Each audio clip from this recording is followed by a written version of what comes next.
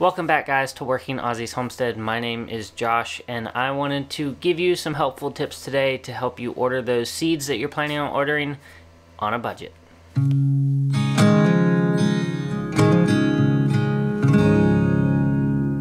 Alright guys, if you are new here or not new here, you probably know that we like to budget and that is the same when it comes to ordering our seeds.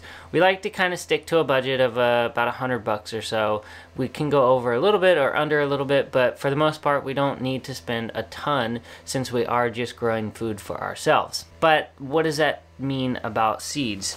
It's so easy for us to get these catalogs here. This is a Baker Creek and a Johnny Seeds and literally just open them up and see all of these beautiful different vegetables and plants and think, oh man, we are going to have fun this year and plant everything that we want to. And then next thing you know, you have spent $600 worth of seeds.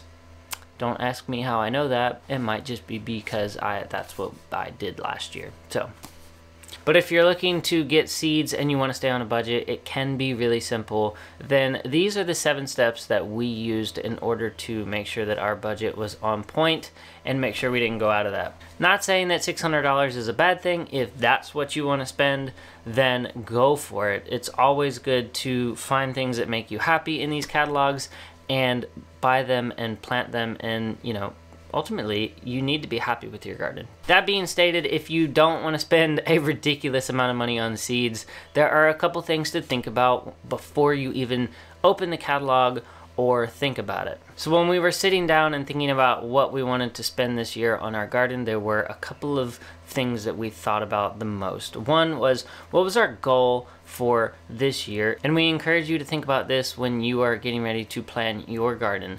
What is your goal? Do you want to grow food for yourself and your family? Do you want to grow food for others?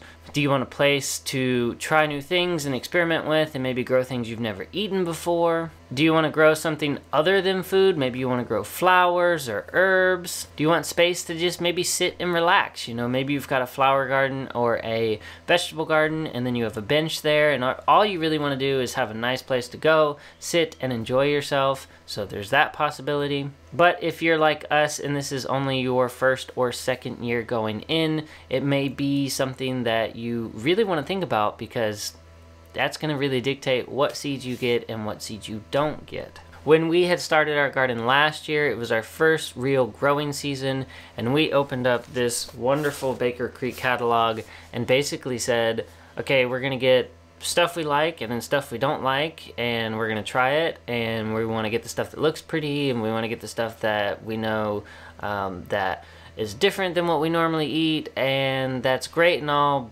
but at the end of it all it kind of got overwhelming and we had like way too many varieties and way too many plants for a first year gardener in my opinion and I think we just easily got overwhelmed. So once you figured out your goal, the next thing you want to do is you want to figure out what your seed inventory is. Now if you're starting off with no seeds, you're starting from scratch, then welcome to the club.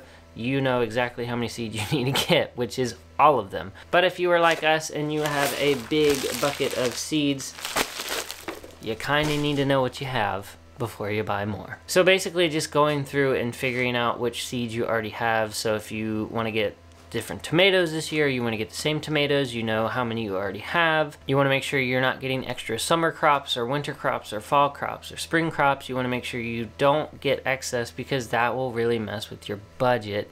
And then you're going to have an excess amount and then you're not even going to plant them.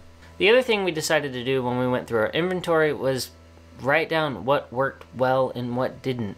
What varieties we had, what we planted last year that worked well for us being beginners and for us in our climate, we wanted to make sure we were going to reuse plants that really worked well. So we had good um, outcomes with certain types of green beans that we had, certain types of kales that we had, certain types of tomatoes, and then there were some tomatoes and other things that just didn't grow well at all. Uh, straight eight cucumbers did really well, but the uh, cucumbers that we got from Baker Creek did not. And that might be on us, that might be on the climate that we are in, but at the same time, we didn't want to spend an excess amount of time trying to figure that out this year this year we're focusing on just saving more of our own food. So we wanted to focus on the varieties that worked well for us last year. Another way that might be good for you to save money and get some seeds on a budget is look for packaged seeds. And I don't mean like the little small package. I mean like we are getting, we are using this bug out seed pack and on the back you can see all of the different varieties that there are and this actually worked out better. I priced out all of the seeds that we were getting in this pack individually and it came out to be almost double what this pack is and almost the same amount of seeds. So take that into consideration when you're getting ready to start your garden. Is a pack better than uh, buying individual seeds? Are you going to eat everything in this pack? Are you going to eat maybe three quarters of what's in this pack? Um, that could really help you save some money in the long run because think about it. If you've got this whole thing of seeds, but most of the seeds that are in there are in this pack, this is literally all you need that could save you a lot of money in the long run. So to help you guys out with this, we did get the sustainable uh, seed pack, but I will be putting links in the description below to some other seed packs, not only from them, but also on Amazon that you can get your hands on and try this year. And it might be even worth you spending a little extra money to try uh, these seed packs out and see how you like them because in the long run, they might work better for you than buying individual seed packets.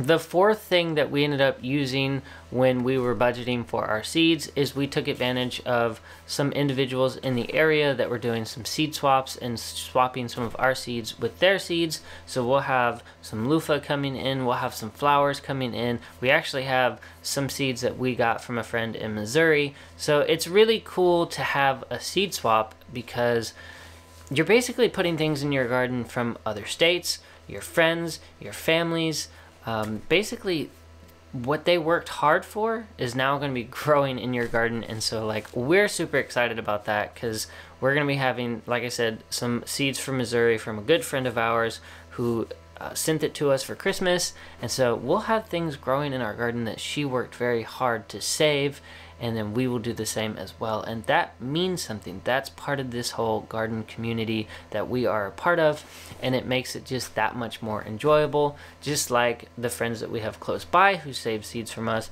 they worked extremely hard for that, and they are part of our community. It is nice that we'll be having their hard work growing in our garden just like they'll be having ours grow in theirs. So, as far as seed swaps go, you can go um, look on Facebook groups. You can go possibly look on Instagram and see if there are seed swaps near you or small groups near you that are swapping seeds out. If you can't find a seed swap, then I highly recommend that you go and start one with your friends and family. You only need three to five people, and if you guys are growing different varieties, you can kind of seed swaps in and you can swap seeds in and out, and it'll start bringing you together as a community. So you guys get out there and check out that. That is a wonderful way to save a little bit of money on your seeds this year. So the next thing you can do to save a little money on seeds is you can save your own. So we have this Johnny's Seeds holder and I literally just saved some pea seeds from our garden from last year, if you can see them. And so they will go in our garden this coming up year and they are a Baker Creek variety, but they were just ones that we had planted last year, and I was able to save them. And so you can do that with any plant that you want, um, but I would recommend doing them with a seed that you really, really like, and a seed that you really, really enjoy eating. I would also recommend only doing it with maybe three to five different plants if you're just starting out. We felt a little overwhelmed our first year. We did it in the spring, and guys, I did not have any idea how many kale seeds we would have from saving our own kale seeds. Like, it was a ton of seeds. So, pick three or five different varieties, um, or three or five different plants, sorry, and save some seeds. It'll help you in the long run. You can use those seeds over and over and over again, and those are seeds you don't have to buy next year. So the last thing that we are going to talk about is keeping new variety seeds to a minimum of three to five each growing season. And what I mean by new seeds is, guys, I totally understand.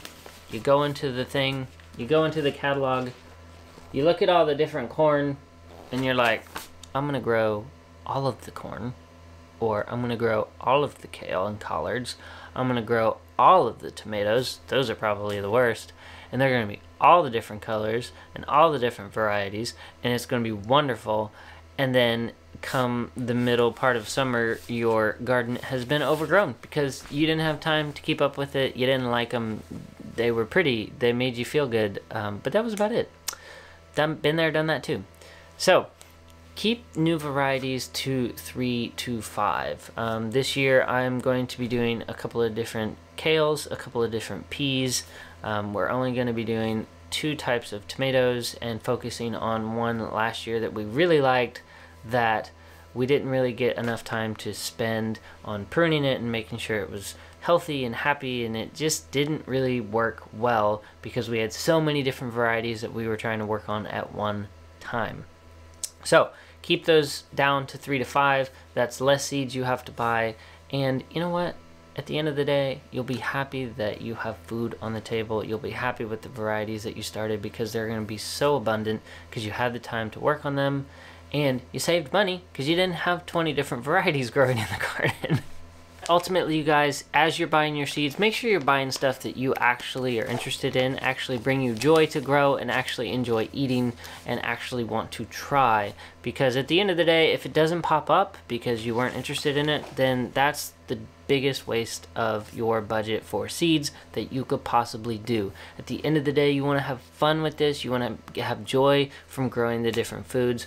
All right, you guys, I hope that helped out a bit with your budget and buying seeds this year. If you haven't already gotten your seeds, I encourage you to go ahead and get started and purchase those seeds.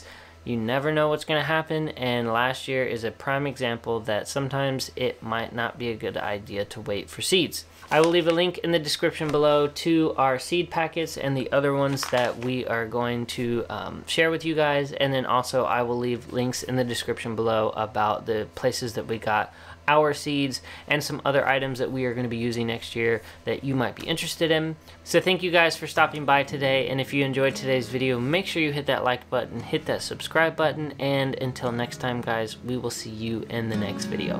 Bye guys.